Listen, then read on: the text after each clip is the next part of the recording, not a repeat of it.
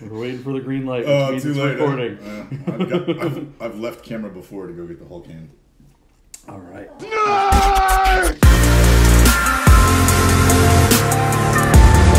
Get those words!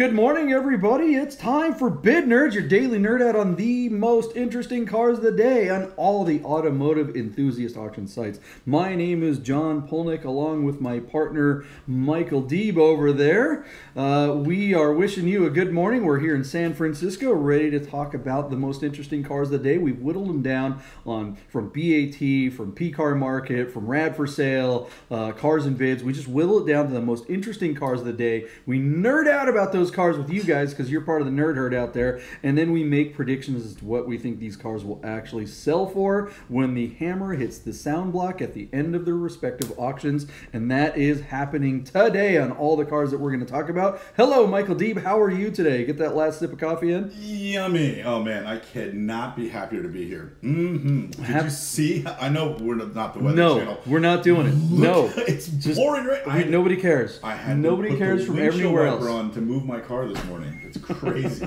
Come on, man. It's summertime. How are you happy to be here? You're so Vegased out that you think this is comfortable, and I would trade places with you in a heartbeat to get some heat.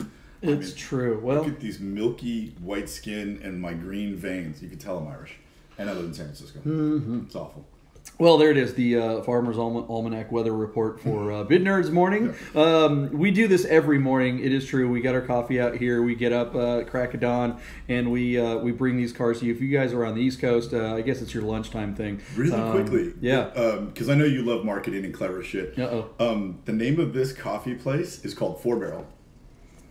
Four barrel. Yeah, it's carburetor that, like joke. a carburetor joke. Yeah, Yeah, exactly. look at that. Pretty cool. So uh, we got Esther picked out bougie coffee from Four Barrel on Valencia Street, um, and I thought you'd get a kick out of that. I am enjoying my bougie coffee. It's very, very, uh, very good, um, and it's waking me up. And let's get to some cars. So the first thing we do on every episode is we go over the day before's predictions. Uh, so we'll go over those ca- cars and we'll see how we did. And let me tell you, uh, as per usual, we're not very good at it, but. Uh, this is a rare occasion where my partner was slightly better at it than me. Uh, so let's uh, let's go over yesterday's cars. I actually really liked the lineup that you uh, picked up yesterday. It was actually they were. I, I, you know what? I think we would drive any one of those five cars. Like Yeah. I would rock them for a little while, but the car you and I would probably fight over first. It was in fact the 1990 Porsche 964 C4 Targa Hmm. that had just probably 70,000 miles, but it was in that like dark metallic gray with actually like a really dark gray leather interior and a black Targa bar, and then it had silver cup wheels, not the D90s but the 17s. I mean that was just, that car's a looker. 964 market is crazy, and this car, you know, is one of the rare models that they've made. Uh, Four wheel drive, maybe not our first choice, but again, I say this all the time. I wouldn't kick that car out of bed for eating cookies. That that car is cool. Um, so, anyways, I think we we maybe went over on this one. I thought eighty four thousand. It was on BAT, and I know you considered the platform when you said eighty seven thousand. Our car sold for just eighty thousand nine hundred sixty four dollars, so about eighty one grand. Um, that's a fair price. Do you think P car would have got more mar- money for it than BAT? I- It, it, it, it's hard to ever say that. It's um, you know, PCAR market is definitely catching up, um, Right. but more money than BAT. I, I don't know. I got to think that the same exact audience.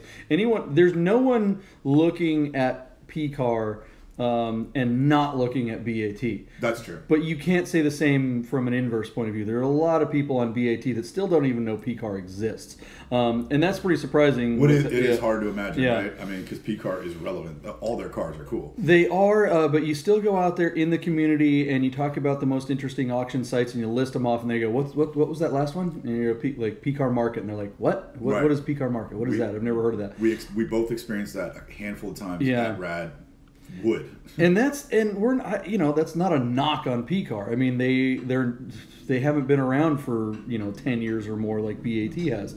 Um, I, it's just it's going to take a while for P car uh, to if ever get as big as BAT. And I don't know. I mean we've had Jim on the show, um, and I, I don't.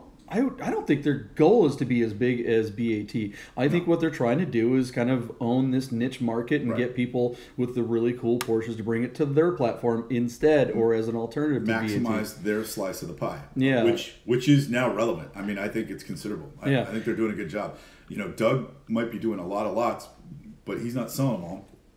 No, And he's not. And, we in his talk- rates, with like you know, I mean, if, if it's a if, if the consignment is a percentage, right? Mm-hmm. He he's selling you know throwaway cars, whereas you know P car is curating a collection of cars. You and I would take you know if they do six cars a day, you and I would fight over four of them. I mean, Yeah. they're really cool cars. Yeah, for sure. So- And the only cars that they're adding to their lists are cars that are really special. You know, it, it unlike you know cars and They've Bids done will three take pretty much anything. Yeah. three singers this summer. I mean, come Well, on, man. no, that, but that's not what I'm saying. I mean, that qualifies as technically a Porsche, right? What. I'm saying is if they if they add a car, Oh, I see what um, you're saying. Yeah, you know, sorry, if sorry, they're going to yeah. sell a car that's not a Porsche, it's going to be a Ferrari or it's going to be something Right. really cool. Yeah. They're not going to be like, oh yeah, fine, we'll take your your Right. you know 300 ZX. Or Well, and they're not like even selling Mondials. They, like their last eight 355s, I bet seven of them were manuals. Mm-hmm. I mean, you know, they're getting the good stuff. And uh, we've we've said this the whole time. we would trade places with guys on a heartbeat, Yeah. and nobody wants to live in Oyster Bay. You know, like. Yeah, yeah, yeah, they- they've got a cool ass studio, but I don't want to be in Long Island. No. All right, um, what? Uh, well, let's get. What One was the more. car? One more. P Car actually had a 2004 Yeah. GT3 with 20,000 miles in Polnik approved Polar Silver. This car was hot, uh, and I, I know it sounds silly. From a performance standpoint, I love ceramic brakes, but from an aesthetic standpoint, I love the yellow calipers on the Polar Silver. This car is th- this is probably one of the hottest looking 996s I've ever seen. And I agree with you that the C4S of the 996 variety is one of the best looking cars Porsche's ever made. Um, but this thing is beautiful. So where's it going to land? I said 120,000 and I was surprised you were maybe too pragmatic for your own good. You said 98 grand. You went under 100,000. I guess you take the under, but that was too far a spread. Our car um, made it to $116,000 where it sold in the organic auction. That car sold before the hammer. Uh, and I think it's a fair price. Um, so anyways, why What do you mean so down on it? sold before the hammer? Well, because so many of their cars sell in the deal tank. So in other words, Oh. that car hammered at 116 and sold. Uh, I don't. I'm guessing explaining it incorrectly, but a lot of times they'll sell a car. By the time we get up the next day and look at the results, they'll have sold a car where um, you'll have to look to see if it's sold in the deal tank or if it's sold on a thing. Got it. More often than not, now we're seeing that they are selling at hammer. Yeah. So. Uh, I mean, that car really is kind of the most beautiful version of the GT3, or, you know, certainly could. There, there's an argument for that. Um, the 996. why do you think that one wouldn't break hundred dollars? I I just because it wasn't low enough miles. Um, not Yeah. that twenty thousand miles isn't low miles. Right, right. You know, it's that. Look, you- to get that super super premium, it's got to be collector miles. It's got to be delivery miles. It's got to be like you know five hundred miles or maybe fifteen hundred miles. But twenty thousand miles, I mean, you see that kind of number of miles really affect the values of some of these really special cars, which I personally think is silly because you and I are both guys that doesn't matter. Miles don't matter to us. Does the car? Uh, can we go and enjoy the car and drive it? If we own it, we're gonna drive it. It's not going to be a museum piece. Right. But we're certainly not. Um, you know, the only type of buyer for cars like this. There's a big portion, and it might even be a bigger portion uh, of the potential owners of cars like this want them uh, to look at them and to say that they have one that has low miles and that it's pretty. Now, I will say I'm driving around a 993. I've been driving it all weekend, and people, hey, what, what's that car? They ask me, what's that 993? And I, I'm I'm the first person who's like, yeah, it's a it's a 96 993 with 33,000 miles on Yeah. it. That's not the model, right? It's Yeah. not the 33,000 mile model, but there's something about it's weird when you have a car with that few miles that you just feel Your last Silver 993, nobody ever mistook it for having 33,000 Yeah. miles on it.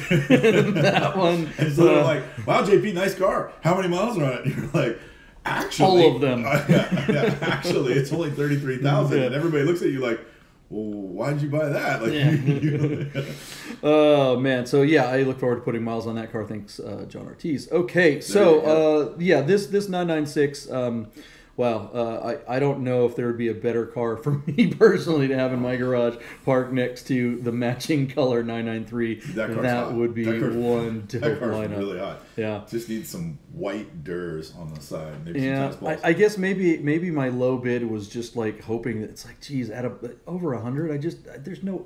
No.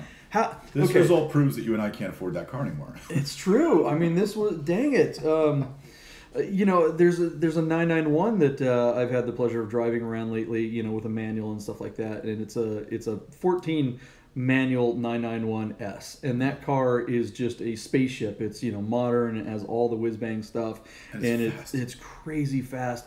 And you know, this particular 996 GT3's got to be. It can't be as fast. Um, but maybe it is. Uh, You know, I've driven them, but I've never, I've never driven them back to back. Let's let's go back real quick. Yeah. Your 991 cab, the red car, has a seven-speed manual, right? It's not a cab.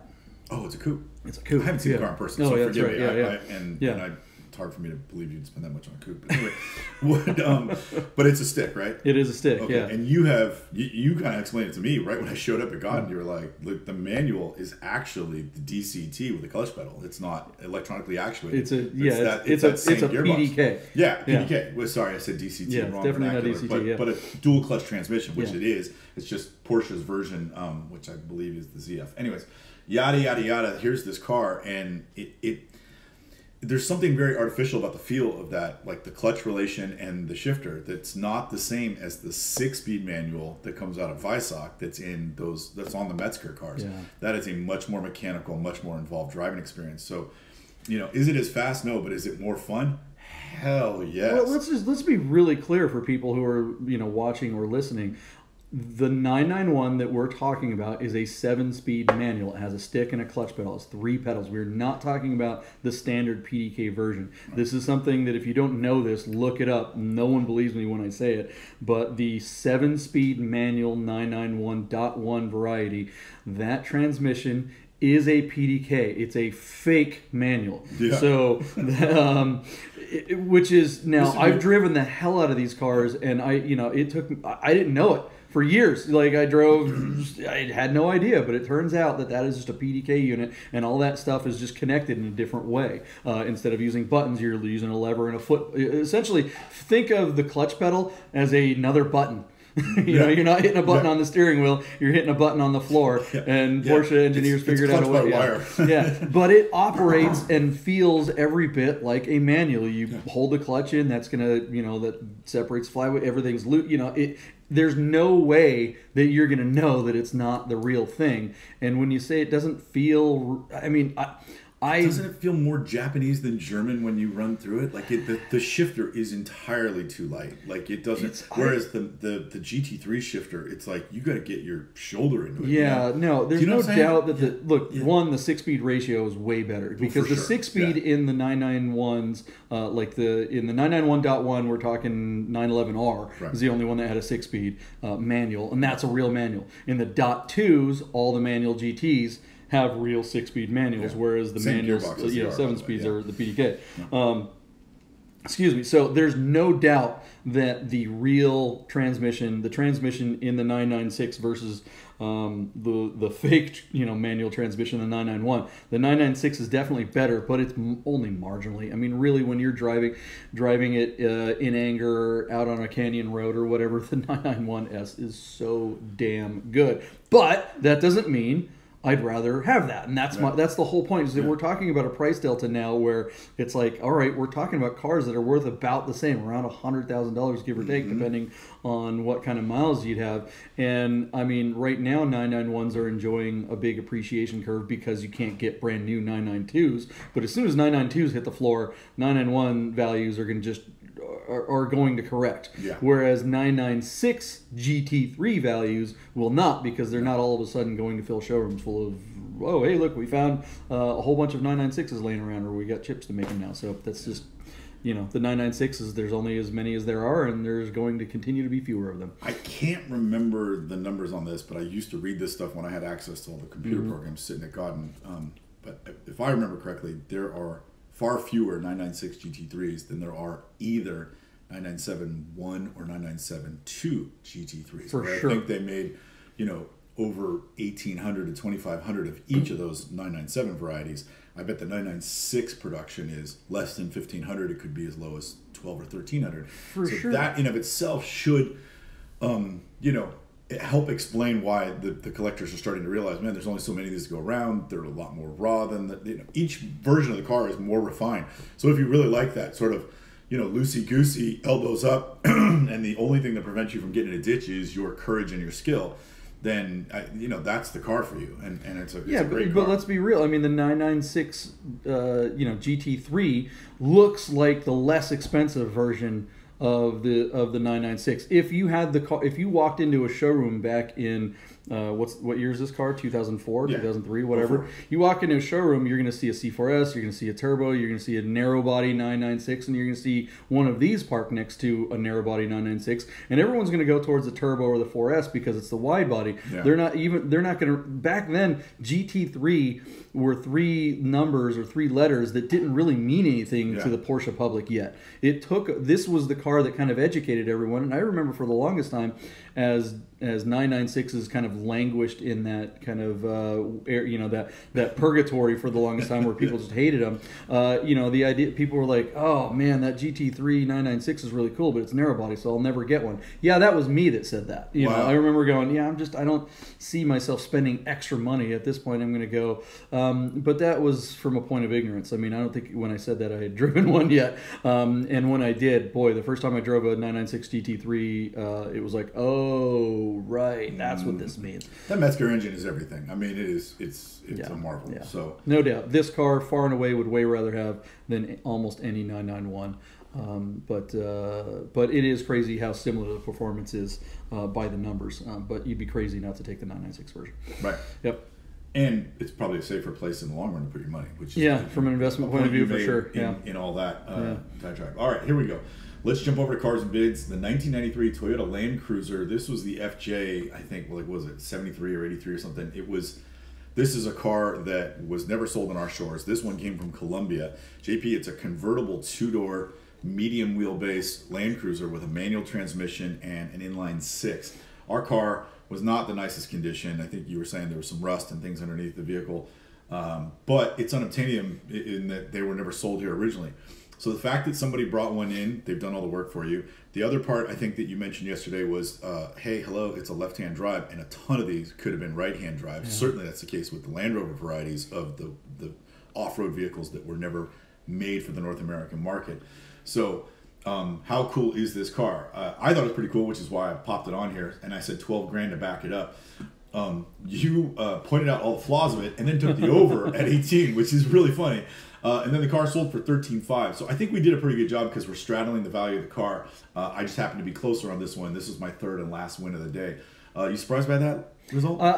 I'm not surprised at it all. I'm surprised by my bid, given that where the platform was. I mean, Cars and Cars and Bids Bids, yeah. has done kind of has done pretty well with FJs and weird, obscure off-road vehicles. That's actually one of the few areas uh, that uh, that Cars and Bids has the potential to do well. Um, but uh, you know, I, I failed to recognize that also, uh, or put together. You know, this one's just a little extra weird, and uh, bodywork, rust, Gold. miles, uh, a White bunch of things against it. Yeah, it wasn't the looker. Well, I mean, the the plastic hardtop I think is is a really cool thing. I mean, you know, this was the answer to uh, a, a, a, sorry, a Wrangler, Jeep Wrangler of the era, right? I mean, Right, but I would um, make you proud if you gave me that car. I would take that hardtop off and throw it in the garbage because I didn't like the way it looked. I, I just wouldn't have it on the car. I would only drive it if I Yeah, could go with the hard with right. the top off. I would never be on my Land Cruiser. Period. The problem with the hardtops is if you're going to take a road trip somewhere, it's hard to just leave the hardtop somewhere. Whereas a soft top, you can fold down and take it up, you know, Right. tur- put it up and down. But you definitely want to take pictures of something like this without the top on it because that is the romantic way to own one of these.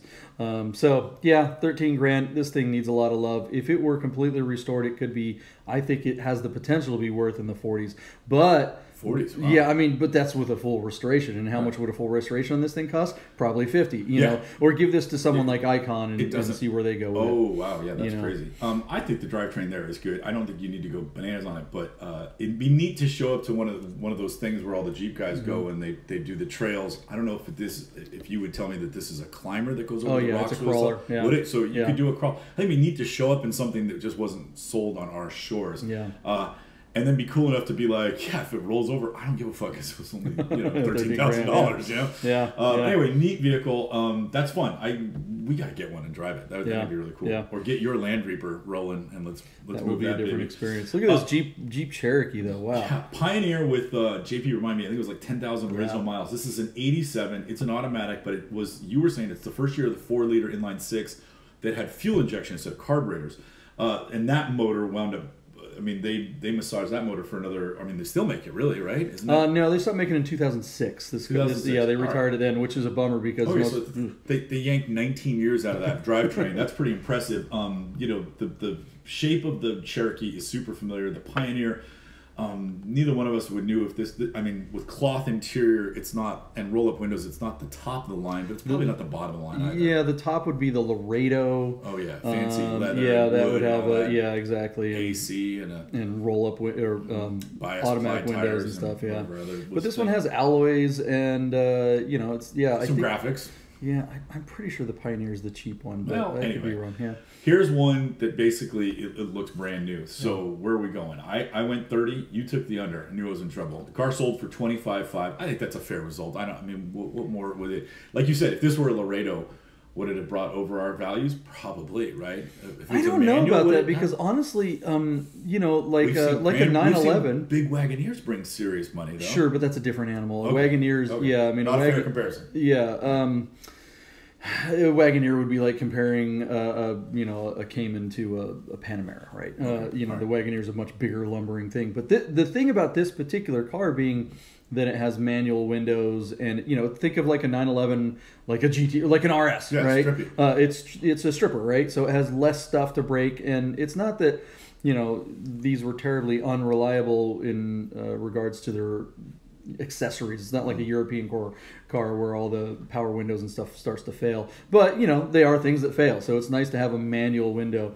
Um, you know this one has an automatic uh, which uh, you know would we rather have a manual in something like this of course but this thing man you could drive this to the end of the earth um, i think it should be worth more that value was a little low but So you think that's a good me. deal on BAT at 25.5 for the for the 10,000 mile 1987 Jeep Cherokee?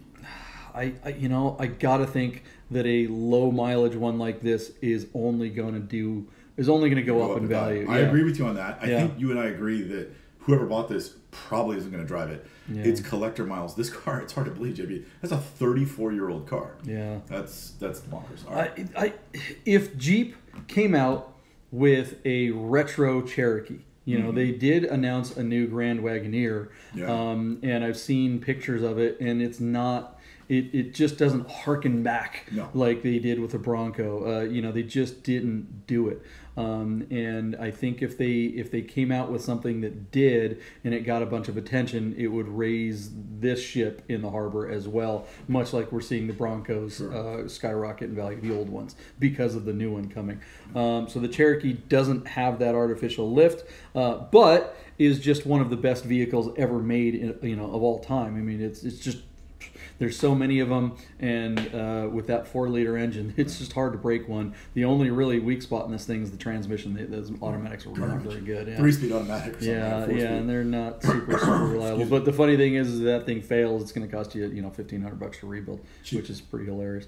Um, All me, right. JB. All right. Last car was the 1992 Mercedes Benz 300 CE. This was a Euro spec car with a five speed manual and cloth interior.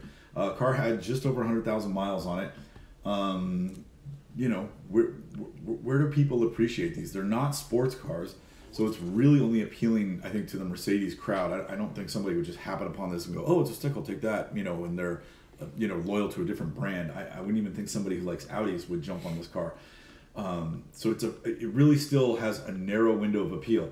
So I went 14 grand. You went 13.5, and the car sold for twelve thousand dollars on Cars and Bids.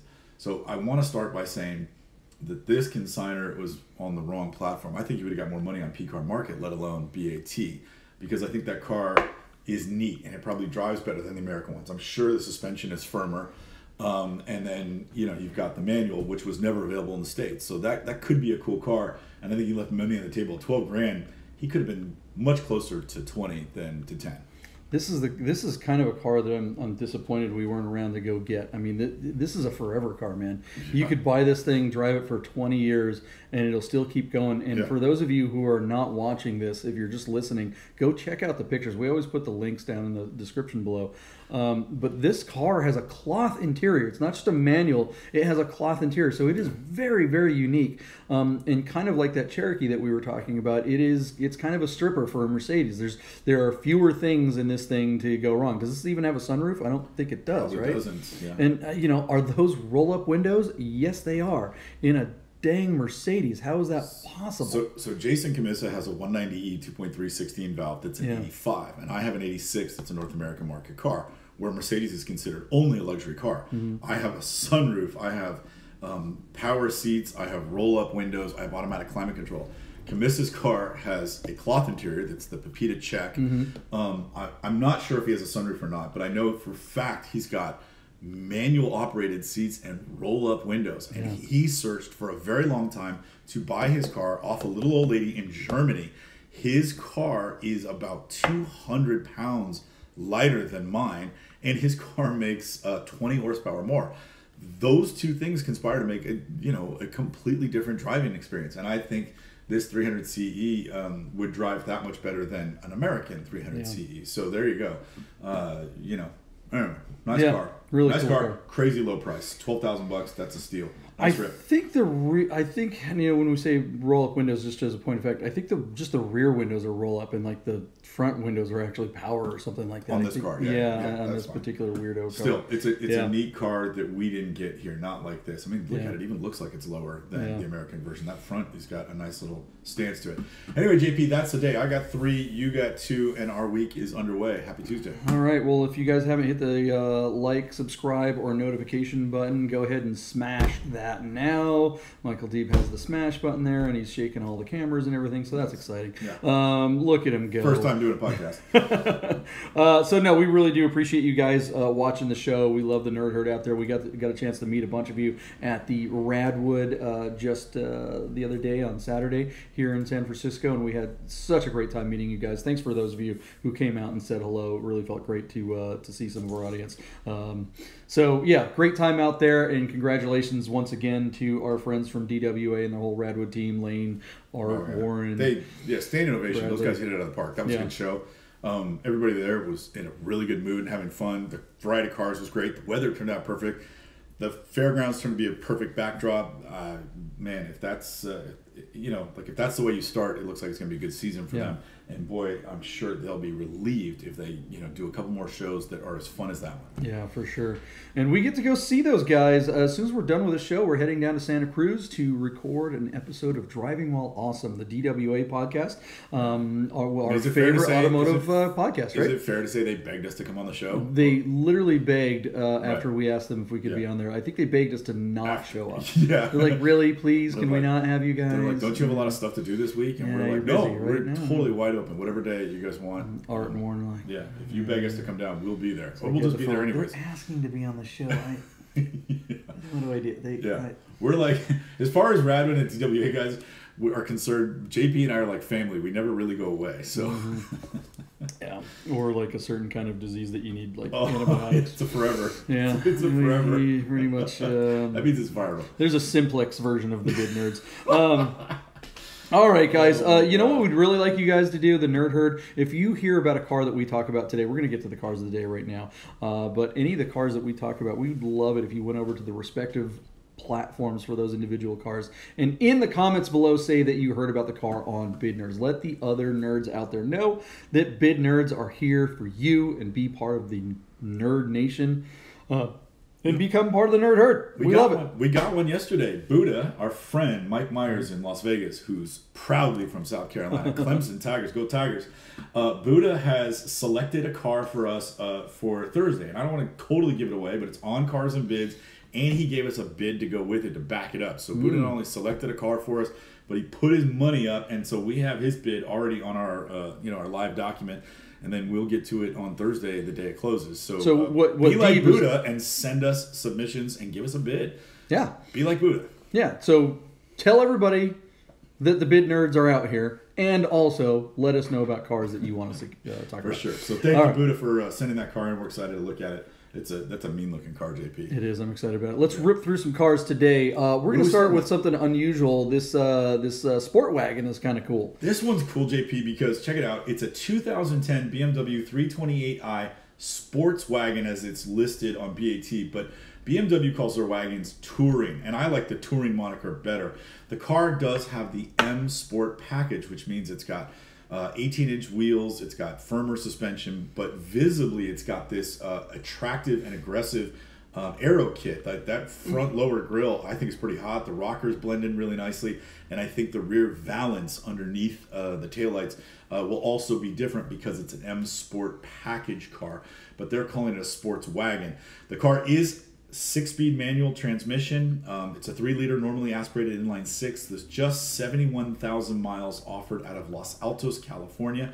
The car is an attractive um, Le Mans blue paint. Um, I wouldn't quite call that cobalt blue, but it is sort of like a metallic navy blue, right? Like maybe not that dark, but it's not. I don't know. Anyway, it's really it's it's a good looking car. Uh, where they win us over, JP, is if you make your way to the inside. Uh, the car was ordered with black Dakota leather and the aluminum inlay as part of the M Sport package. No burled walnut or chestnut interior that looks like an old man's car, or as we would say, a boomer's car. Uh, this thing is hot with the aluminum inlay. Uh, the other thing that, that's really worth noting here is that we see a lot of um, M wagons that are done with all-wheel drive. They wind up being iXs or something, but this one is a two-wheel drive. So this is actually a really fun car to drive, and I think that's what makes this one so unique. They don't make a lot of Tourings. Um, they don't make a lot of Tourings that are stick, and they don't make a lot of Tourings that are stick that are two-wheel drive. Uh, and now this one also has the M stuff, so it's a great-looking car as well. A lot of life, I think, left on that drivetrain with only 71,000 miles. This is a car I would absolutely purchase and drive. I mean, JP, with three and a half hours to go, this thing isn't even at 20 grand. That being said, because it's not the turbocharged motor, this wasn't even probably a $50,000 car. So these are pretty good bang for your buck. Kick this car out of bed for eating cookies, or would you keep her? This is the way you want to get a BMW. I mean, let's face it, nobody's buying a BMW sports car anymore because they kind of don't make them. Uh, who wants an M3? I mean, or 4 or whatever. D- Does anybody even know what the heck an M, a BMW is anymore? This is kind of the the, new huh? one's an M2. Like you got to get the M2 now. Yeah, like, see exactly package. whatever. I don't even. I'm not even going to like devote any brain power to trying to sort that crap out. BMW, figure your crap out. Nobody knows what you sell anymore. You had the most uh, one of the most iconic names in sports car history, and you like now. Right. fuddied up all the uh, nomenclature, and nobody knows what the hell you guys are doing. Uh, so screw you, BMW. I really hate BMW right now. Um, but this car represents kind of like the last of. Uh, this is like when BMW still knew what the hell they were doing. This is the last of them. E91 platform, and they were they were a good platform. It was a great platform, and this particular powertrain, this straight inline six three liter thing um, with you know matched with a six speed. Does this car have mad power? No, but it has fun power. This car is actually fun to drive in a two wheel drive version with a shooting brake. I mean, come on, this is. Uh, yeah, this is like if you had to pick a car that was like not terribly expensive, one car under forty thousand uh, dollars that could do everything. That could, you know, you could uh, if you you could fix up your house, you put lumber in the back of this thing. You could go camping. You could go to the grocery Dogs, store, bikes, the whole thing. family, d- yeah, and still take it out on a twisty road on the weekends. Um, every single thing that you want to do with a car, other than maybe put the top down, and, you know, with your best girl. This car is pretty much it. You know, if this car were a different color, it would be just like it, I. I know that I'm. Most Yeah. people are going to disagree with me. Probably people really love this color, but if it were just a basic color like a silver, black, white, I think it would just be so fantastic uh, to just be that that car. Um, it's even got the dog gate in the back. I mean, this it's good to Ah, go. Seventy thousand miles. yeah. It's such a reliable powertrain. No stupid turbos. Um, you know, just update the cooling system, and you're pretty much good to go with this thing. This is JP. This is a great car, and I, I need to go on. When you get the M Sport package, it's not an exterior cosmetic package. You get different suspension tuning uh, inside the car. You get a more aggressively bolstered seat. You get a shorter shift ratio, so you get the quick shift put in, and then you get a thicker steering wheel. I mean, they address everything. The Sport package on the BMW back in the day, because I don't know if it's true anymore. uh, meant you got a better all-around driving car, not just a car that looked sportier like Yeah. Mercedes and Audi would do. Uh, it was just a cosmetic treatment. This is a legit better driving car, and again, two-wheel drive. I love this thing. Uh, so JP, with three and a half hours to go, our car is sitting at nineteen thousand three hundred twenty-eight dollars. Um, I believe in this one, but I, you know you can't go crazy because uh, I mean it was only a fifty thousand dollar car, brand new. So I'm gonna go twenty-six thousand dollars, which I still think is high, but it wouldn't surprise me if it gets there. I, I think you know they're they're right there at twenty grand. So what do you say? Nine bids it's sitting on. Yeah, I mean, this car is so good and it's such a unicorn in so many respects that, um, you know, I really uh, want to bid higher. But 70,000 miles is some miles. Um, not that it's really going to affect uh, how functional this car is, but it's probably going to affect the value. Um, geez. If, if this were like a 20,000 mile car that we were, we'd be talking 30 something. Right. I am going to bid over you, but just Okay. by a little bit. All right, go ahead, and then I'm gonna give you the opportunity to change your bid. Um, okay, you were at 26 and Yep. what? Yeah, twenty-six. Okay, so I'll go 27. Okay. So now, what if I tell you there's minor damage on the Carfax? Uh, yeah, who cares? Okay, Uh, good. yeah, All I right, so mean, you're staying there. yeah. So we didn't mention that because we, I don't think it's going to affect the value here, but I wanted to give you Yeah. a chance to make like a blind, you know, like a blind, honest thing. Yeah. Um, but it's minor damage. It doesn't say that it's an accident. It doesn't even have the yellow triangle. It just has a little thing.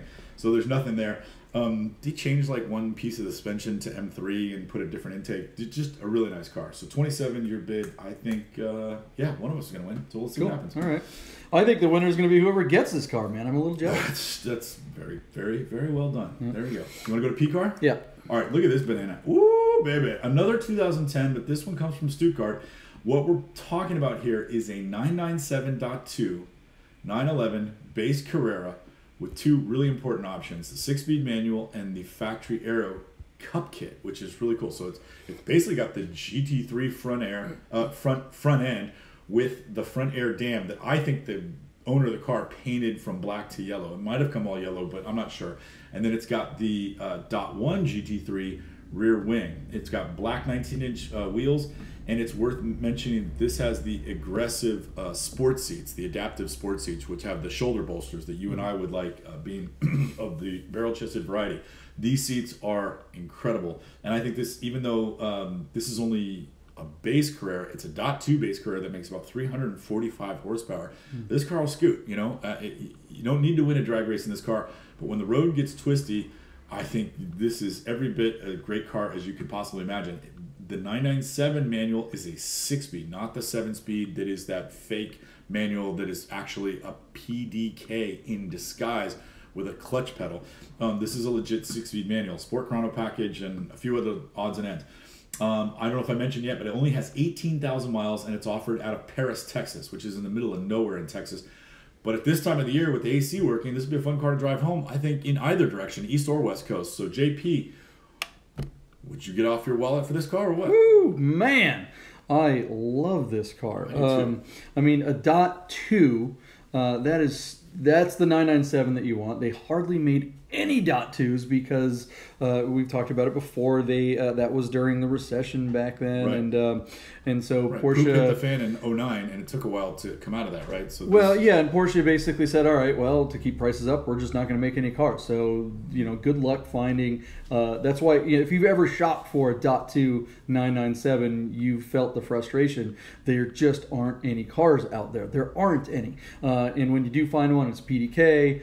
Um, maybe you find an S, and it might be a cab, or it doesn't have sport or whatever. You know, this one being a base with the chrono really is this man you you look at something like this and i think this might be a god i'm going to say this um, the better car than the 996 gt3 yes i said that out loud. Um, it, it's it's not actually but i think a little be- easier to live with, though, it's right? yeah i mean this car it, you know has that look of the gt3 but it doesn't and it doesn't have anywhere near the horsepower but the dot twos with just a little more horsepower feel so good. The, the 997 platform is just I, I like it so much better than the 991 i would i would way rather drive this than Your the red car. 991 uh, s for sure which you- has gobs more power than JP, let me lob one over to you so that we can pretend like we're educating our four listeners or viewers. Um, when we get to the dot two, of the 997 variety, we are now sidestepping the IMS bearing and the bore scoring. Is that Correct. fair to say? Both of those issues were cleaned up by the time this engine came off the assembly line somewhere in Stuttgart. Is that Correct, yeah. Okay, cool. So this is uh, not only is it a fun car to drive, it's a more refined car to drive than the, the, the even the more attractive 996 variety. Yeah. And then this is arguably, you know, like you could just forget about it. It's super reliable, and you don't have to worry about something going wrong other than maybe running over a, a nail or a screw and getting a flat tire, right? Yeah, by all accounts, this this version of the engine is finally, um, you know, i i- it's Mezger type uh, reliability. They don't Yeah. have you know th- that IMS thing that just hangs like a dagger over your head and all the dot ones. It's just it's. I've owned one of these, not this particular, not an AeroKit one, um, but n- a nine nine seven dot two ownership experience is. Uh, Surprisingly, it, it's just it's just nice, It- it- and I've owned not dot ones, and you're always terrified every time you hit that ignition, man. Okay, your black Aero Kit car with the tan interior and the manual that you owned Mm. twice was that a one or a two? That was a dot one. So was that was a, that was an 05. So and that it was car also a base. It wasn't an S. no, that was an S. It was an S, Yeah. okay. So that one was terrifying, and it had higher miles. Um, Which and is part of the reason why you didn't consider it long term. yeah, it was just you know it was it's just too. I, I can't take the stress of long term 996 or 997.1 uh, Non-Mezger. ownership. Yeah, Yeah. it's just it's too just man. I, you don't want to have that. So, so let's bring this home because we've been talking about Porsches all morning. Yeah. Um, if you can find yourself a 997.2 that you like, whether it's a base Mm-hmm. or an S, or if you're really lucky, a GTS, Mm-hmm. and it doesn't matter if it's a coupe cab or even the rare Targa, that's a car you want to grab because if you wait till 991, you're Mm-hmm. getting a 7 speed. And if you go back to 7.1, you're talking about unreliability. There's there's this variety of bore scoring Mm-hmm. and IMS bearing that you have to contend with, and you just got finished saying that you just wouldn't consider it long term. So, Yeah. dot twos, while they made less of them in all varieties because they're coming out of you know financial hard times and recession and all this nonsense, if you can find one, that's a car to grab because here's your six speed. And here's your power, refinement, and reliability. Yeah. And there's few of them out there. Yeah. So, with all that in mind, why is this car only at forty four thousand? I mean, didn't How we just talk about how much time does that? three hours to go, and it's on Oh, yeah. P-Car Market. Um, it's on just uh, 21 bids, but I mean, it, in my mind, it feels like we've talked this car up to being like a sixty thousand dollar car. Yeah. How much do you think it's going to get? get to? that's a good question. Um, we should have a show about that. I, s- I, I've ta- I guess what I'm saying is I've talked myself out of my bid. I put 50 grand last night, but I think when you, if if the average 911 shopper is even half as educated as us two goons, um, they'll know better. So I'm gonna go 55 and say I am sort of slightly betting against the platform, but it wouldn't surprise me if this car brought 60 or more. Maybe it should go higher, 59. I'll go 59. There you go. Oh, so you give me two bids and then you uh, look. oh, I'll go um, 55. I'll go 55. No, no, it's fine. Take your 59. Yeah. Uh, ta- uh, take your 59. I'm Yeah. fine with that because I'm going to go way the hell over you. You are okay. Uh, all right. Way the hell over So you. is that, it was at 41 last night on 17 Yeah. bids, and JP, just before you give us your number, it's at 44.5, under three hours to go, on 21 bids. So this car is getting auction, a- a lot of action for P-Car Market. at Yeah. 21 bids with three hours to go. That's there's a lot of people on this car. So whatever you go over, I I think you're you're not out of the realm. I am going to go 75 on this car. Holy and that's baloney. low. Okay. Um, these things have gone crazy. Um, Base Carrera for 75. base Carrera, but and it only has what 18,000 miles. Yeah, yeah, yeah. yeah. Um, it if this nice. was 50,000 miles, then I think your number's still low. Look, it looks nice. There's um, the, the seats and everything look beautiful. I mean, this car does not look rubbed or used or, or left outside or anything. So it's, it's a really it's nice that car. it's that yellow color. It's got air, Yes, it's got the arrow speed and yellow, it's right. got the chrono with the seats. This car is. fancy seat. Speed yellow. It is. Yeah, I was right. Um, I mean, if anyone's ever driven a 991.1 base, you'll know that this car is so much better than the 991 base. Wow. Um, like, uh, it, like the 991 base is terrible. I mean, I'm just going to go ahead and say it. It's a terrible car, And, 991 in even in manual. Dot 991.1 Carrera. Yeah. base. Yeah, that seven speed is not. the seven speed well it, it's not just the seven speed it's the problem that uh, i mean the seven speed is the thing that saves it um, you know at least it's got manual and you can have fun you got to wrap the hell out of it but it has no torque it has no low end it Right. it is like it feels like driving an sc that 3.4 liter engine in the dot ones is not big enough for a car that's that big you know the 997 base is a 3.6 liter, so it has more torque. It's a smaller car, it's a lighter car, uh, and it has a proper six speed. And this one having uh, chrono, it's going to have that snap to it because the throttle response is going to be wonderful. Right. Um, You can this adjust it on the fly. yeah, I mean, this car is look. It, think of it this way: uh, a, a 996, something like a 4S, right? That's a 3.6 liter engine. Yeah. Um, they didn't have the, the S variety of 996s did not come with more power, unlike 997s. A 997, um, you know, the S variety had a bigger engine with more Right. power. So uh, think of this engine as kind of being the ultimate version of the 996 engine, still a 3.6 liter, which is a great you know size for this uh, for this boxer motor uh, with you know the direct injection, just a little bit more horsepower. This thing I think has 345 horsepower. It's exactly right, which is the same as the 40, uh, the 40th anniversary car. Same as the 40th anniversary car, and almost the same as the S from the previous generation 997. So with Chrono. Uh, a more reliable package, and it looks like this car. I go Yeah, on and on. car and looks on. like a GT3 Did I too. give a number? Did I? Uh, yeah, you went 75. yeah. It, it, this man, this car is fantastic. So I- funny, we have gone so esoteric and abstract with all these numbers and years and stuff. Uh, of the eight people watching the show, six of them have fallen asleep Yeah. at work. They're like, Yeah, don't I have a Oh TPS God. report to do or White something noise, yeah, they're entertaining? Just, yeah. they're just somebody at work with like sheep just jumping everywhere, like oh this way, that way. It's You can watch the show later. Uh, you know, this is live, Oh, yeah. but we'll, let us remind you that it's on. YouTube. You could just, you know, turn this on to go to sleep. yeah. Think of that. Just yeah, uh, Bid Nerds, the let cure us, for uh, sleep apnea. Yeah, there you go. exactly. Don't take Ambien and become a zombie and kill your neighbor. Just listen to nerds. Our next car, JP, proves that the pendulum swings way the other way and goes in a totally different direction. Check out Cars and Bids. Uh, what's his name? Doug DeMuro has sourced a 2002 Honda Insight that is offered to us out of Sunnyvale, California. Which, JP, if you look out the window and through the fog, it's just down the road there. Yeah, saw. Um, 98,000 miles on this one. Uh, it is a one liter hybrid inline three front wheel drive with the five speed manual in a very attractive Silverstone metallic. And, and JP, is it fair to say that this car was maybe just a smidge ahead of its time, or even though it came out came to market before the Prius, the Prius just did a better job of bringing this basic platform or, or style of car to market, and the Insight had a very short life. And I don't know, was it well? Would you say this car was a success? Was it well received, or or am I, you know, correct in thinking that like this is just an unusual car, nobody wanted it, and so maybe they'll go up in value because there's probably not en- enough nice ones left. This is a no reserve auction.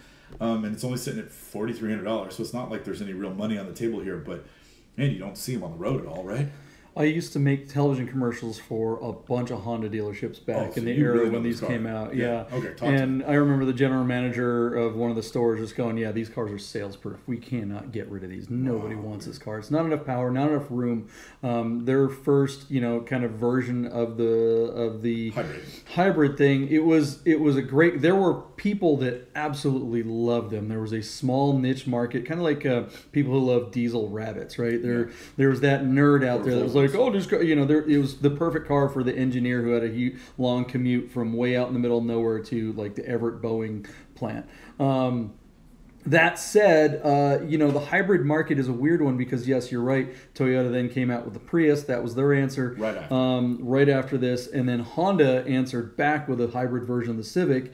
Um, it was this kind of battle where, where this hybrid thing was kind of like, yeah, is this hybrid thing going to happen? Yeah. Um, the mistake with so this car actually was closer than the first Prius from having the right formula because what this car was was very different from most normal cars except that with a manual it felt too much like just an underpowered normal person car Right. um, the the success of the actual Prius um, and when the Prius the second gen of the Prius came out um, it was you know it was a four door car um, of course it didn't have a manual it was No, like a automatic two-speed it automatic. was a two speed, yeah, and it was like, i- i- and the Civic came out. The Civic looked like a Civic, any other Civic. When Right. the Civic Hybrid came out, it was a great hybrid. And for people who just wanted a hybrid but didn't want to look like they were driving a hybrid, um, it was the great car. But that was the problem that Honda didn't quite realize that everybody that wanted to buy, uh, everyone that wanted a hybrid for sure the main reason they wanted a hybrid was to let everybody on the damn road know that they were in a hybrid. Right. That was the whole point. They wanted to, it was that you know uh, what was it? South Park's famously made that episode that it, they run on smug.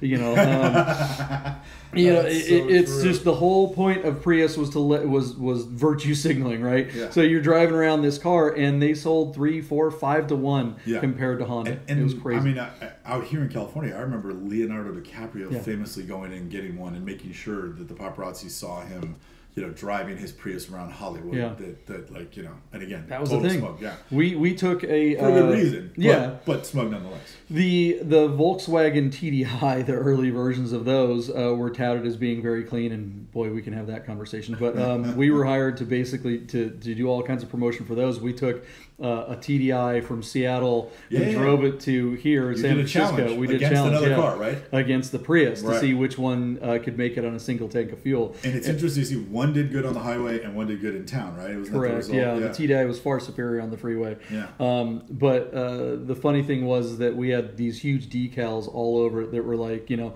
we had the web address and all that kind of fun stuff. But it was like our car, our car gets better fuel economy than your Prius. And when we were driving around uh, San Francisco, downtown San Francisco, Yeah. when every other car was, Was a Prius, Prius, we yeah. were getting some dirty, dirty hippie looks. That's Let me just tell you, it was such a good time. We Yeah. just thoroughly enjoyed If that. there's one thing San Franciscans hate, it's the truth. Yeah, I'll, I'll uh, take your word for it. Yeah. Uh, they think denial's a uh, estuary in the East Bay. The thing about this little pilot, though, is you know what it's actually most similar to is a CRX. Um, they they actually Thank these you. things do drive well. I mean, Yeah. with a manual, they are kind of fun to drive. 73 horsepower, 91 pound foot of torque, which is very little. But I would say that this car weighs extremely similar to a CRX, despite it being hybrid and having some batteries. Well, the This is batteries do weigh this quite is a bit, Tiny ass yeah, car. yeah. I think it'd be easier to fit and sit like one of us.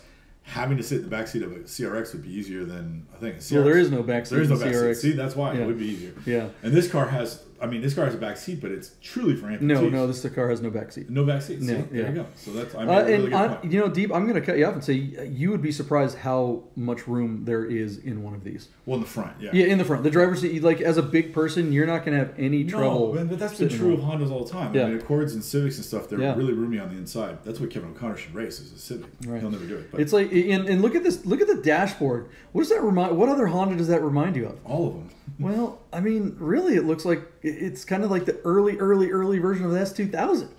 Oh, I get you. It's I a you. lot it more like a- digital a thing. It's got 2000 two analog gazes, but yeah, Yeah. like the pod and the shape is there. I'll give you that. That's, You know, that's fair the enough. Civic didn't the look like look that. The- I mean, yeah, you know. Anyways, these things are weird because they covered those uh, rear wheels with the things to, to give a little aerodynamic, um, you know, assistance, and Mm-hmm. Yeah. then uh, it winds up looking like. I don't know the the, the track the, the distance between the two wheels in the rear is pretty narrow on this car, and Yeah, so they just always tires. they always just looked a teeny bit awkward and a little too pretentious for their own good. So it is interesting that it didn't succeed. Um, it was only twenty grand when it was brand new. Uh, that'd be like thirty thousand dollars today. Cars at forty three hundred bucks. It's only on six bids. It's also a no reserve auction. And finally, the last handicap for this thing is it's on Cars and Bids. Or is that a handicap? Would you say this is the right platform for this unusual piece? Um, I, I, there are definitely cars that are going to struggle more on cars and bids. This car is weird. Uh, it's not very expensive. Um, the cars and bids might be the place for it. You yeah, know, well, BAT car's not going to list it, so it's yeah. just whether or not BAT. How many miles does this thing have on it? Ninety-eight thousand eight hundred. Man, this thing's just getting started. It hasn't had the battery refresh, though. That's the other thing because that costs four thousand bucks. Modifications, Bluetooth, additional sound and known flaws. I mean, you say. see these with a couple hundred thousand miles all the time, three hundred thousand miles. I mean, they just go and go and go. Um, so I, if I'm you- not seeing anything in the notes, and I'll give Doug DeMuro that. It's Mm. really easy to find information quickly on his site. Mm.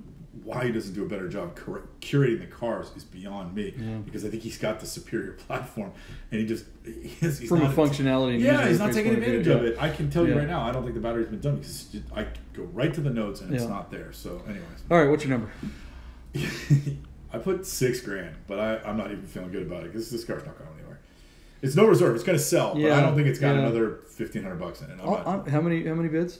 Uh, six. Six? At four thousand three hundred. It's on I'm six. gonna bids. bet the over. I'm gonna say 7,500 bucks. I, Wow, I mean, that's you. actually fairly low miles for one of these. I mean, and there is a weird ass niche market for these. Somebody wants this car. Like, imagine if you had to commute to LA and back from uh, from here in San Francisco Bay, or if you had to go to Vegas. Right. all This is a manual versus the Prius being a, a car you just would not Yeah, want to at least this thing's going to be remotely interesting to drive, whereas Yeah. anything else hybrid is like, forget it.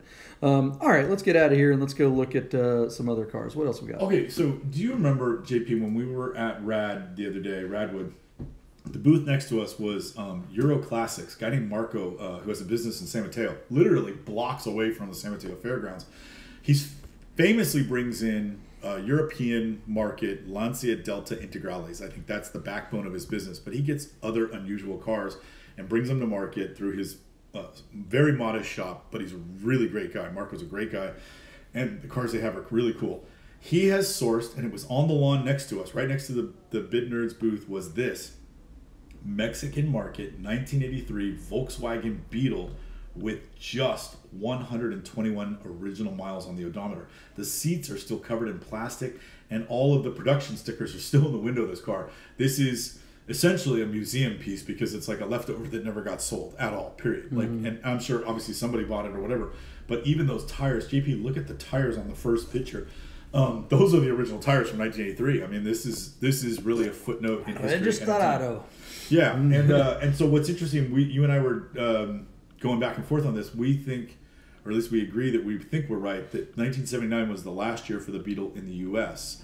So um, in '83, when this car was produced in the plant in Mexico, I mean, this was a car you there, there, there is no equivalent to it in the USA. So just a really neat car. Marco's got it. I, I imagine there's a very easy way to put it on a, a domestic title if it's not on one already. Uh, but what would you pay for a leftover Beetle? Now, you and I know air cooled Volkswagens have a very strong following, but I would at least assert that the further back you go, uh, late 60s are more valuable than anything from the 70s. Early 60s are more valuable than late 60s. And if you can find something from the late 50s or mid 50s, those are the ones that people will pay through the nose. You get these unusual shapes like the split window rear and all this other stuff I don't know much about. So, this being one of the last ones to make, I, I don't know that this is going to be a big collector car, but if but if you were looking one, this is probably the nicest one in existence. So anyway, Well, take it uh, yeah, I, well, number one, this isn't anywhere close to one of the last ones made. They continued making these till 2003 in Mexico. Wow, the in Puebla Mexico? factory was making weird. brand new Beetles till like 2002. Oh, um, they still make brand new powertrains, um, and they still make transporters down in South America. Wild. Um, so you know, it, when, it's funny if you've ever been to deep Mexico. I mean, it's one thing going to like. Um, you know the the, Cabo. the Cabo or something like that. But you know, like I, I've actually been to the factory um, in Puebla, um, and it was back around 2005, right after they had completed uh, making these. Maybe it was later than that. But anyways, um, the the point is that uh, you know these are everywhere in Mexico. These are everywhere in South America. There are new Beetles and new uh, transporters rolling around That's all weird over the me. place. It's Yeah. so weird to me. Uh, and it's also funny too because you see like Mark IV Jettas driving around everywhere, and they're brand new. They Oh. still make the Mark IV Jetta because you know in other markets around the world that people don't care about like oh we gotta have the next greatest. They're just like does it work? You know, and is it cheap? They already have the tooling to make it. They don't constantly change the safety requirements Yeah, like the they do here. Parts are there, right? Yeah. So the parts are readily available, which makes it easier to keep them on the road, right? Well, yes, but but I mean, think about here. They every couple of years they change emissions requirements or they change, uh, sa- you know, NHS uh, safety requirements on newer cars, and so the manufacturers have to constantly make new versions of the cars because the old ones don't pass the new don't pass the standards. new standards, Yeah. right? You know, that's why we've talked about the fact that you know Porsche. Uh, Classic has all the old, you know, uh, die sets you and I saw in Germany when we got to go there. Yeah. Uh, we got to see that they could essentially make a brand new SC right now. Yeah. They have all the tooling. They can Yeah. make new 993s and Stiegel, did. Stiegel bought Yeah. all that stuff. Yeah. They made that gold uh, that gold version of the 993 Turbo that we saw at Rennsport a few the years back, right? chassis. They Yeah. built it. Yeah. and the the crazy thing about that car is anybody that knows anything about it knows that it, you could never register that car to drive on the road because it's a brand new manufacturer or it's a it's a brand new factory car uh, that doesn't meet. It's a 2019 Right. 993. but but built to to 98 specs, and Yeah. that wouldn't pass. today's, That wouldn't pass, yeah. today's things. Yeah. So this car, uh, you know, uh, it, it also you got to wonder. I mean, it's a gray market car, so I'm sure there's a way to get it on the road, but nobody's going to. The place this car belongs in um, is a car dealership. There's a car dealership somewhere that wants this on their showroom floor. for sure, that's a Um, great take. and is rad rad for sale who we you know we love the guys that uh, run this place yeah, they are- begged us to be on their show. yeah, they begged, begged and pleaded uh, for us to just stop bothering them. They're hoping that if we they let us be on their show, they'll just be like, okay, fine, Yeah, now go, now go away. stop talking to us. Um, I, I don't see this platform finding that audience. Um, you know, and I'm I wish we did more homework because I know a lot of Volkswagen dealers. And uh, how much time does the car have on it? Uh, one hour and 49 minutes, Man. so it's closing. Yeah, as soon as this show's over, I'm gonna text like a half dozen Porsche uh, or VW. VW dealer owners that I know that go, "Hey guys, you, sh- you should go buy this thing." Is this does this have a reserve? Uh, it does, yeah. It's not a no reserve. Uh, we have not seen too many lots on Rad come across no reserve. Yeah, which I think is a mistake since uh, a handful, or at least a portion, a significant percentage of their cars have been, you know, modestly priced, modestly valued cars. Mm-hmm. And I just think, you know, for their long-term success, they really have to lean on their consigners. Be like, look, your best shot at selling this car is to just yank the reserve and trust us to do it. And It's then, a double-edged sword, though. They Yeah, don't have the audience. Had absolutely. I done that uh, with my own Jeep, I know, you um, I'd have lost my butt. right? You know, but and- then, but Radwood would be that much closer to you know getting mass adoption and, and, and saying we're here to stay. You know, yeah, yeah, it's, um, you, you gotta you, cart before the horse, right? Uh, Totally. It's, it's you got to cut something to, to get where you're going. You know. Um, yeah, but the okay. So when you say that, though, think about it for a second. Who has to cut something? Um, the Radwood, Right. sure, they want you to do your car Right. for for a low reserve, but they're but Radwood isn't the one that loses anything by Right. that cut. It's the seller of the car. right. This why does the seller have to make the know, uh, again, make the I, I- look? I'm not sitting in other Yeah. meetings, but like they, then they got to make a thing. Well, we don't take a commission for you or whatever. They got to do something to help the guy out who might stand to. I don't know. Look, it, Yeah. that's a whole nother discussion. I the car is at 6,500 bucks, JP. I, I think there's value in this car, but I don't know that. Um, Rad is going to get it in the next hour and 49 minutes. Yeah. I, I put last night with all the hope in the world, knowing that this was a stretch, that that car should bring twenty-five to thirty thousand dollars, but uh, that they're not going to see it. So even even I wrote twenty-four grand, but that's just like that's what I think the car should bring.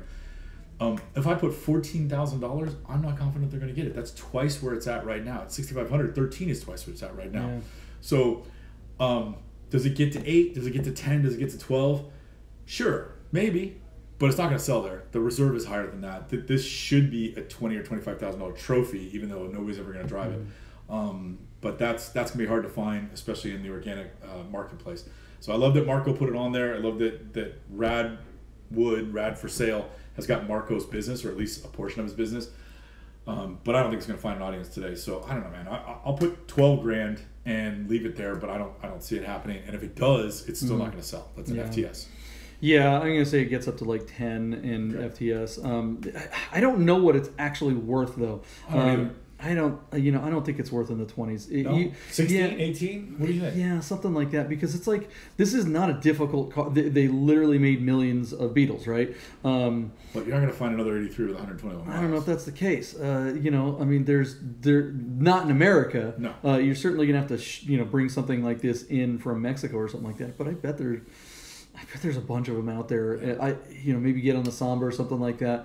Uh, the car, the thing that makes this car worth so, or could make it worth Uh-huh. anything at all, is the fact that it still has all the delivery sticker stuff. And again, I think this is a showroom uh, piece. This belongs. you- no, on, and you're right, you're Auburn that. Volkswagen. Friend Matt Wel- Welch, if you're watching, go buy this car. This thing would be awesome. 121 miles, which sounds like delivery miles, but Mm-hmm. um, my dad, we kept him out of the restaurant business between 1988 and 1989. he went to the showroom for Walter Dawidiak, Cars Dawidiak, which is, I don't know, really cool shop here in the city, and and Walter was doing you know restoration and um, and uh, detailing and stuff. So Mm-hmm. while Walter was running the business, my dad offered to kind of you know take care of the showroom, and a guy brought in a car on a consignment and it was a 1979 Beetle that was the color of that BMW wagon, a bright blue Mm. with like a white interior. 79.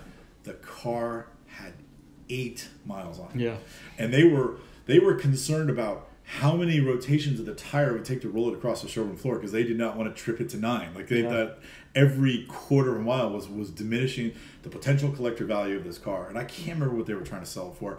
I don't think they actually sold it. And we had it for like three or four months. But I just Hmm. remember how fanatical they were about which, how far in any direction they would roll the car on the showroom to move a car around it. Like it was, That's it was, amazing, it was yeah. like everything was documented. It was bananas. Um, and when, makes, when a car comes out of the factory at, at Puebla, Yeah. they, they they just they they start the car, it rolls out the front, and they have it looks like a bus stop. Uh-huh. You have or, or not a bus stop. It looks like one of those lines uh, at the airport in Vegas when, Yeah. when everyone's waiting for the ca- taxi cab, Yeah, yeah, right? So the car pulls up. Yep. You know, uh, one guy, one you know, there's a team of guys that drive him out of the factory. They drive him like a couple hundred feet to the to the front of the line. Yeah. Uh, a different Mexican guy gets in. um, they, they basically play musical chairs. The guy that drove it out of the factory runs back into the factory, and the Yeah. guy that, that gets in it then drives it through this like it looks like a cartoon obstacle course. It's like a series of speed bumps and a really high like little thing. That, so they have to like climb up on this little hill and then hit the brakes to test it going Yeah, down the hill. sure to make- everything works Yeah, it's just like truck, a, yeah. a, a super short crash test to make Yeah. sure everything functions.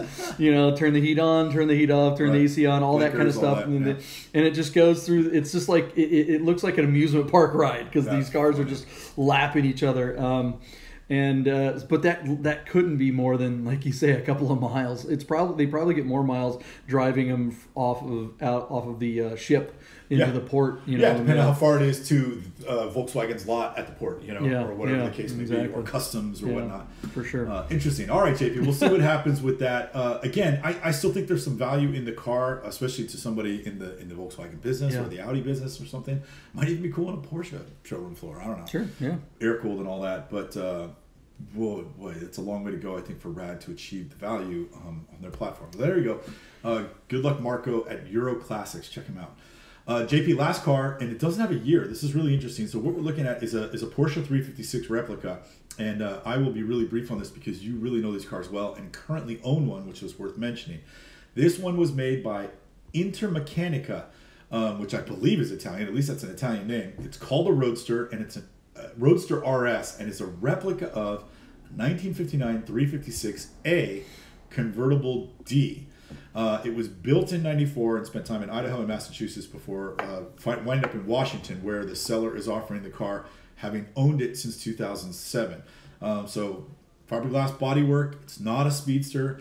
Um, it's utilizing a 1800cc flat four with a four-speed manual. There's an Alpine stereo, which is not period correct. Uh, the Nardi steering wheel would be a period correct uh, alteration, but not something you could have gotten from Porsche.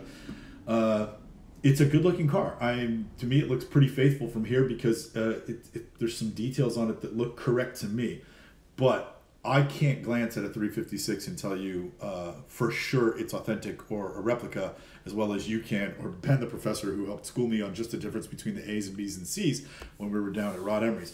So JP, take it away and tell us out of Gig Harbor, Washington.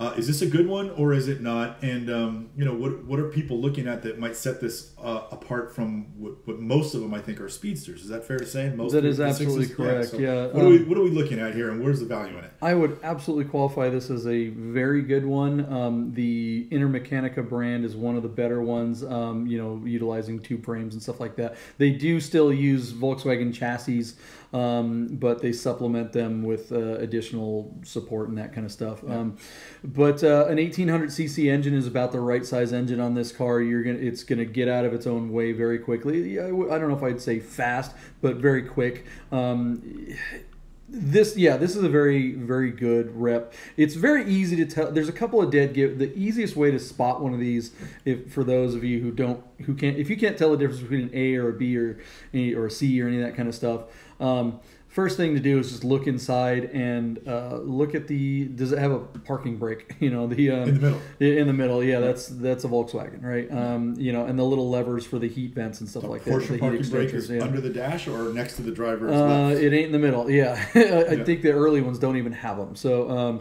yeah, I think they're pulls from underneath the dash, like on the left Yeah, side. that might be That's right. how I remember. Yeah. At least on Gary's twin grill roadster from the early 60s. That sounds right. Um, this, you know, being a roadster, this, like you said, has roll-up windows. Uh, it actually has a, a slightly larger windshield than the Speedster, uh, and it has a thicker soft top, at least in from the factory, if that's were if it were correct. Um, you know, the gauge setup is is very true on this one. Um, yeah, I mean, it's just it- it's not perfect, uh, but it is a the quality of this car. Um, you know, these aren't look when you drive one of these as someone who has. You're never really trying to pass it off as a real one. That that's just that's lame. You know, um, the reason why you get one of these is because it's just so fun to drive, and you can't get a real one really for uh, any kind of you know. I mean, even the even the replicas like these are crazy expensive now, um, and this colorway is beautiful. I think uh, I think this car, the fact that it's a roadster uh, replica instead of a speedster, 99% of them are going to be uh, speedsters. Then you'll get a small percentage of them that'll be actually coupes, and an even smaller percentage of them will be roadsters like this, and hardly any of them will be a B or a C. Like they're crazy rare. They only made like 300. Beck made 300 um, 356B Yeah. uh, replicas, and out of those, 30 of them were uh, Cabrio, and I have one of those. Yeah, uh, happens to be the same color as this. You're- Yeah. you've got a B coming down the pike. Yeah. and correct me if I'm wrong. Don't you have like 2,300 CCs in there? Yeah, my engine's a little bigger than this one. Half a liter bigger. butt, Half yeah. a liter bigger. It's 25% bigger. By a little, we mean it's massive. Yeah. Um, but look, this is this is a beautiful, beautiful car, and uh, this, yeah. I mean, the thing is too, like going to any Porsche events, no one is going to look at you funny because it's not a real one. Uh, in fact, you'll get more attention. I mean, it's just you, you don't buy one of these if you don't like people, because you anywhere you take it, you're gonna have it's gonna draw a crowd. We were at the pit stop at Rafi's shop visiting Mm-hmm. with Yuri, and we went into Rafi's main shop, and he's got you know gull wings and Fiat 8Vs and all kinds of Mm-hmm. Alphas and really cool cars. And uh, we walked up to a Porsche Roadster, Yeah. and it was a it was a replica, it's a kit Yeah, car, you know, yeah. silver with with tan interior and good looking car, and it kind of And it was one of these. It was a yeah, roadster. It yeah. reminded me like this, right? Yeah. It was. Uh, it had you know the, the Porsche badging and the Mm-hmm. gauges, and it all looked correct. Uh, but upon closer inspection, where the brake was, where the heating vents opened, they're you know Volkswagen running gear instead Yeah. of Porsche running gear, and that's the difference. But that car looked to be in spectacular condition. Yeah, the uh, the thickness of the uh, of the metal and the fenders is kind of a giveaway too, because the metal versus the fiberglass and how thick fiberglass tends to be and all that stuff. Um, but whatever. The point is, this is just a fun car to own. Um, there are manufacturers of these right now. They're putting like uh, our, our friends uh, Tony at 900 series in Las Vegas. He's got one in there that has an Audi 1.8T engine in the back with proper air conditioning. It's a roadster like this, and uh, That to me- 1.8T is a torque monster. I mean, that you like the tires. If you get those little four and a half inch tires, 1500 pound car. Holy cow! Just Yeah. rip the tires off the back and Yeah. still have AC too. So there's something Yeah. to that. I, I don't think I would want that though. Honestly, I don't Well, think I'd like that right. Yeah, I like the idea of putting a, a Subaru engine because then you get that Boxster noise. Yeah. According to Jason Cammisa, if you have the correct length headers. Sure, So, anyways, neat stuff. Uh, Hoovie's Garage has a 550 that he just had one of those with a Subi swap in it. Oh. But I still just, I think, I, I I just, you know, you can get a two liter Volkswagen engine and, and that's it just Plenty of rip. Yeah, and it's air cooled and it just makes it more true to the original experience. So, What's the biggest Volkswagen air cooled motor? Is 2.4 the, the biggest one they made? Yeah, Type 4, is that- 2365 is, is- about it. Yeah, and, I- then can you punch that out if you were like? well, no, I mean that is punched nerd? out. I don't think Volkswagen ever really made anything bigger than a Okay. than a one eight. I mean, or maybe a two liter. I don't know. I'm, some Volkswagen people are going to correct me on that one, but I from the factory 2.4 they didn't. No, they didn't make a factory. They did. Okay. Um, let me think. They they may have made a Type Four engine that big, That's but what not a thought, Type, but I but don't- not I a Type really One. don't know. Yeah, no, I'm talking You don't put Type Type 4. Fours in something like this. oh, you Um, don't? Yeah. Because they don't It look won't, right. it won't fit. It's Ah. the the Type Four. I mean, think of a Type Four as it's it's much more pancake. That's the engine that's in like a 914 or, or a Yeah. Vanagon, right? Right, that's what I Very was thinking. flat. Yeah. Whereas the Type Ones have you know the big uh, the big fan and the Shroud. stacks Yeah, on the yeah, side right. and everything like that. So it's uh, Looks it's tough to fit them in there. Yeah. So they look a lot more like a real one, and the engine is shorter. The anyways, whatever. All right, Um, JP, here we yeah. go. So an Intermeccanica Roadster Yeah. RS, uh, true mileage unknown, showing 6,000 miles, which is probably accurate, but it's TMU uh, because probably the drivetrain is, is was previously employed before this. So 1.8 liter four-speed manual, tubular steel chassis with fiberglass body and authentic Nardi wheel and VDO gauges. Our car was at 30 grand on 22 bids last night. It's at 31,750 now on uh, 29 bids. So a lot of action on Bring a Trailer for this lot. Um, I have learned to appreciate these more and more as I've spent time with you, and you've owned two or three of them since I've known you, which means you're buying one every like 10 months if we do the math. Uh, I think this car has every chance to bring it to 40 grand, and now you're going to tell me if it's worth more than that. Yeah, this thing's easily going to get to 55. Really? All right, so I'm Yeah. way under. Can I change my bid to 45? Yeah, uh, sure, why not? All right, Um, 45. Yeah, the, uh, the this is a two frame one. This isn't just sitting on a Volkswagen uh, Right. chassis, so that's the big thing on this car.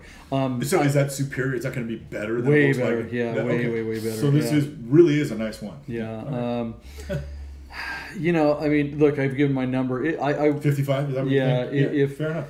if it hit 60, it wouldn't surprise me. That would be really high for a 356. 550s uh, are are very regularly hitting the high uh, the high 50 marks and sometimes Sure. over 60.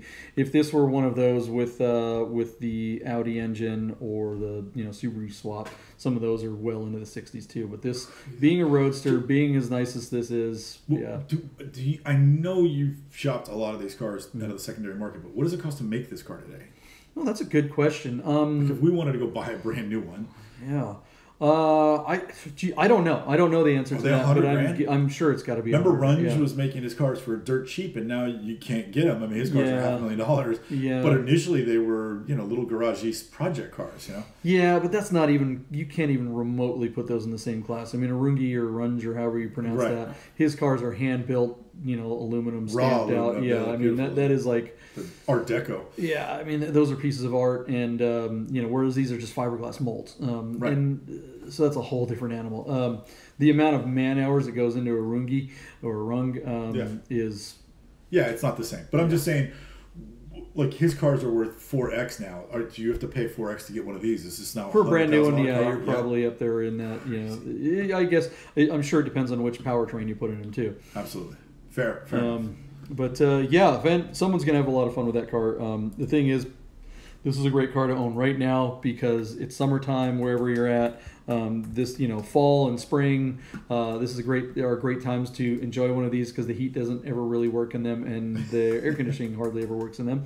Um, if it even has it, which is very, very, very unlikely, and this one certainly doesn't. So, um, but this is not a winter car. This is not a utility car. These are toys, and that is Right, always but you that could, kind of. like you know if you bundle up like you know if Yeah. you're not a Cabrio photo you can drive this Yeah. car in Vegas Oh, in the winter Southern California Oh, You for sure. Yeah, if it's not raining on you, yeah, but, uh, you it's know, not a I winter mean- car in Washington Yeah, fair. and let's face it. You know, if somebody buys this in Ohio or Wisconsin or something like that, it's, you It's a know, seasonal car. You're not, yeah, yeah so now is the time this guy's got a good shot he's on the right platform Mm-hmm. the car the car shows well so we'll see uh, if, if this one breaks the bank because it looks like it's nice yeah. All right. That's Well, that's a show. We're gonna get down and uh, we're gonna go down to Santa Cruz and see our friends Lane and Warren uh, at the DWA studio Wrigley at Building. Wrigley We're going back Building. to the yeah. old studio. They're Yeah. going to blow the dust off of it and let us in. So make sure you look for that podcast this Thursday. I think that's when that drops. It might drop earlier if you're one of their Patreon members. Uh, we would encourage you to become one of our paper, Patreon members, uh, all, except that we don't know how. Um, we do have a Patreon account. I'm sure there's a way to go on there, find sh- us, and give us we money. should offer smash the like button gloves. Yeah, you know, sure. Why not? Um, we'll give you a sticker. Uh, we've got. The, I don't. Can you guys see the bid nerd sticker? That's. Uh, don't take it off. Oh, it looks good up there. Okay. Well, nobody can see it. Too Anyways, late now. I screwed it up. Anyways, uh, that's a show, guys. We will see you tomorrow at around nine o'clock. We appreciate you hanging out. We love the nerd herd, and uh, we will have more cars for you to nerd out on.